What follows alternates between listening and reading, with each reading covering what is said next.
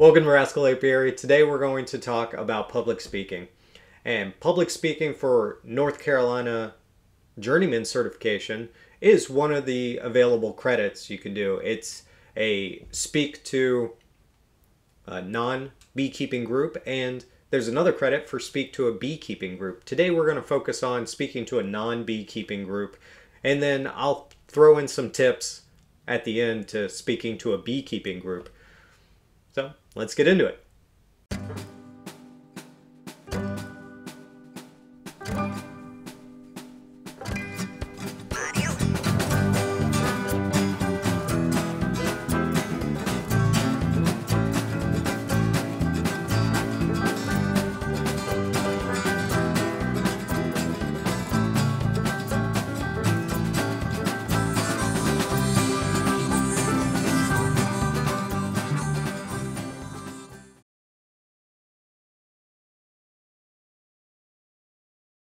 First impression when showing up to a non beekeeping group, if that's at a school or if that's at a library or a museum, they have an expectation that you are going to look professional. If it's wearing a you know nice shirt with collar, a tucked in uh, shirt with you know tie, bow tie. If it's just a guy in a t-shirt or a girl in a t-shirt with beekeeping theme, Sometimes all of these are acceptable. What's not really expected is showing up in cut up jeans, um, just a regular t-shirt that maybe has profanity on it. Like we want to we want to keep the idea of beekeeping fresh. We want to keep it safe. We want to keep it professional.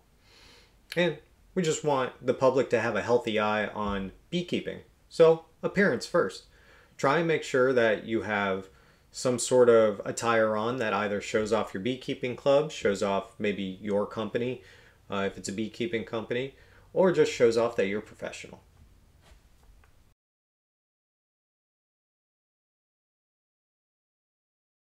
Let's talk about your setup. So you get to whatever location it is school, library, museum. I'm just going to use those public area. And you should have a table. Put a tablecloth on it. If you have a tablecloth that has some sort of banner, that's even better. Or hang a banner off the table that either shows off your company, your club, something that's beekeeping related. It could be a giant fact about bees. Next thing you want to do is set up your table. What kind of things are you bringing? Well, it kind of depends who you're talking to. If you're talking to adults, they're not going to expect a whole bunch of toys on the table. They're going to want to see what you actually use an extractor, a smoker, um, a beekeeping jacket, an observation hive, maybe even with bees in it. Children, they're going to kind of want to see the same thing, but they're going to want to touch it all. So keep that in mind too. But when you're setting up, make it look super awesome. Everything that you put on the table, put a little card with it that says what it is or a sticker something that that gives them an idea. So when they go to ask you a question instead of going what's this thing? they can go what is the smoker used for? And then you can really get into the subject. Oh, or what's the hook here for? You know? You want to make the person asking the question seem intelligent too, and they can learn from what's on the table. The what's this thing or hey, what's that can be easily avoided by just having a little sign. When talking to the group, know your subject. Make sure you have uh, what I do is 10 cards per uh, subject, or like the easy one is 10 cards about queens, 10 cards about worker bees, 10 cards about drone bees, and have those facts. And if you're speaking to multiple groups, you'll be able to narrow your your card amount down because you're going to start seeing that some facts you throw out, people are like, okay. Other facts you throw out, they're going to be like, really? I have questions. So the ones that they're like, okay, just kind of tuck away. And the ones that they have questions that gets the discussion going, leave those. Talk about those each time you have a card that has a fact on it, have a reference also listed on it. This one's called The Hive and the Honeybee. It's a very big book, has a lot of knowledge in it. The reason I say that is because as you're saying these things and they start asking questions, if you start getting steered down a road that's uncharted territory, you can do two things. You can give them the resource, not the book, but you say, hey, I found it in Hive and the Honeybee. It's got a lot more information in there. If you want to check it out, cool. If not, here's my business card that has my contact. Give me a call, send me an email. I'll research it. I'll write you back. Same thing goes if it's for your club. You can say, I really don't know the answer to that, but if you email the club, and here's their email, it's on a sign, poster, banner, you can say, somebody there will answer your question in totality, and you'll be very pleased. That way, you can please the person that's asking the question, and you can move on to other people that have questions as well. You don't want to be stuck on one guy the, or girl the entire time.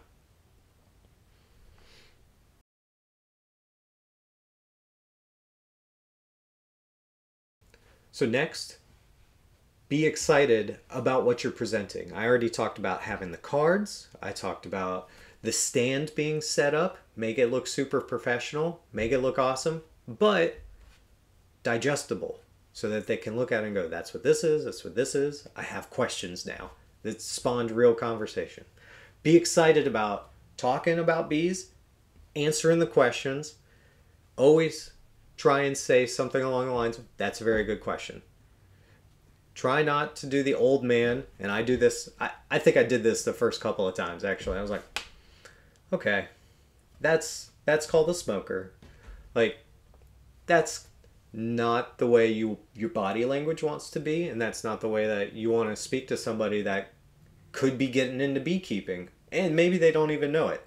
They could be standing next to their wife, and the wife's like, "I don't want to," and the husband's like, oh, I really like this idea. Let's do this. Or the opposite, the wife's like, hey, we're going to do this. And the husband's like, um, you're going to do this. Like, but you want to keep both of uh, whoever you're talking to engaged. And that's how we're going to keep the community aware of honeybees. That way they stop comparing them to wasps and other, you know, non bees. Um, we want them to think it's safe, as safe as it can be, and fun. Fun's really important. Aware is really important. Uh, safe, give them some safe tips. You know, if you're going to get into your bees or you're around bees, you know, try not to wear dark clothing. Don't have perfume on. If you do, walk away. You know, if, if your child gets stung and is having a severe reaction, take them right to the hospital. Tips like that. But at the end of the day, it's okay for people to be scared. That's why I'm not really harping on safe because if somebody's scared, and let's say you brought an observation hive and it has bees in it, and you have a whole group, and at the end, and this I'll cover is you take the, the cloth off the, the observation uh, the observation hive, and you're like, if anybody wants to come up and find the queen, come on up. Now what what I do with the observation hive is I leave it covered while I talk, and then at the end, I uncover it. I have the queen blocked off in the top, and I always mark her so that kids, adults can come up, look for the queen, and then point it out, and then move along and let other people take a look. That that's an interactive, fun thing to kind of do because you'll start seeing eyes light up. But then you'll also look in the back and see people are like, "Nope, you guys go right ahead." Don't try and call them up. Don't try and make them less scared. It makes things worse. What actually helps is when a whole group is excited about coming up and looking at the bees and there's one or two that are scared, peer pressure alone will get them to be like, okay, if all these people can look and there's no bees getting out, like, it must be okay. So don't pressure people into doing what they don't want to do. Um, and always try and stay close to your items if you can. If you're at the stand and you have a smoker that's 10 feet away from you, there's a good chance a little kid's going to grab it and walk away with it. Now, I've had them grab it before and puff and puff and puff. That's cool. I encourage that. puff away. But when they start walking away with things from the table, like you kind of got to chase it down. You don't want that. You want to keep it nice and secure. Your observation hive, keep it covered until you're ready to have people walk up. Once they've walked up, cover it again.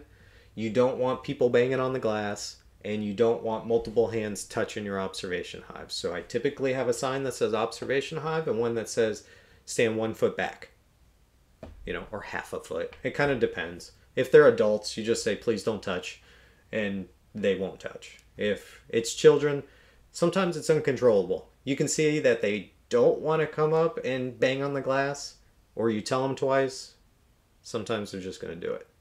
That's when you just say, hey, please move along. You know, it happens, but it it shows you that the kids are are getting used to them. You know, the more that they see bees, the better. And at the end of the day, when they grow up, they're gonna be like, yeah, bees aren't that big of a deal. Wasps, on the other hand, hornets, on the other hand, yeah, we don't want to be around those. But bees are okay.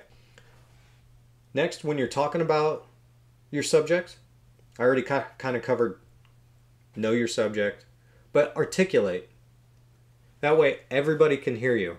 We've had talks before where some of our other members are very quiet, and the people in the back are saying, Hey, we can't hear you. Can you speak up? Now, the person that's talking may not even be shy. It's just they don't realize that they need to articulate and be boisterous. So sometimes it's just a slang or a dialect that we have and it's confusing people, or we're just not being loud enough. So focus on trying to project. All right, thanks for watching. And if you wouldn't mind, just hit like, subscribe, and hit the bell for notifications so that you know when our next video is. Uh, some other videos to check out that we've we've put out, and we're gonna start doing beekeeping facts on our Facebook and our Instagram. I think we're even gonna post it on YouTube. So try and follow us on all those things, and you're gonna get a lot of knowledge for this winter. Uh, that's what winter's for. Winter's for first family, vacation, and then maybe while you're on vacation, you can take a sneak peek at a Rascal Apiary video while you're flying or whatever it is you're doing, train ride. Maybe you read an article that, that we wrote. They're all really short, they don't take very long. And we also, shameless plug, we have a store. So if you want to buy a shirt that is beekeeping related for a presentation, we have them. Okay. All right. Ah.